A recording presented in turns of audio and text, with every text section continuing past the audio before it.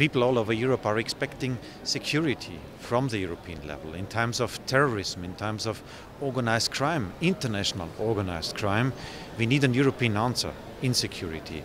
And today is a good day for security because we are strengthening Europol. Our European agency for security on European level is now better prepared in the fight against uh, terror and organized crime.